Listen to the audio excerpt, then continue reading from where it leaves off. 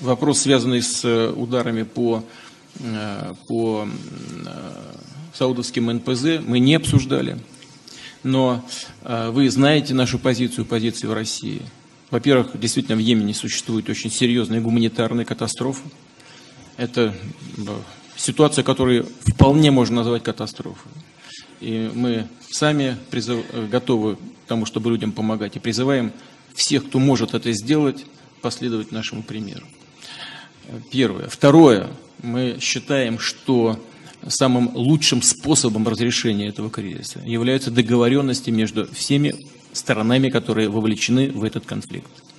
И вот, находясь э, здесь, в Турции, в стране с э, преимуществом мусульманским населением, не могу не вспомнить э, строки из священного Корана, где сказано «Вспомните милость Аллаха, вы когда-то были врагами, Аллах примирил ваши сердца и сделал вас братьями. Вот э, э, я думаю, что исходить нужно как раз из этого.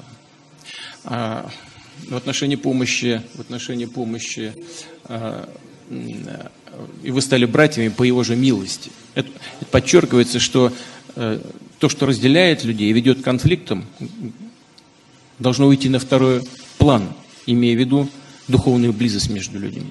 А что касается помощи, что касается помощи Саудовской Аравии, то, кстати говоря, в том же священном Коране сказано э, и говорится о неприемлемости любого вида насилия, кроме защиты своего рода.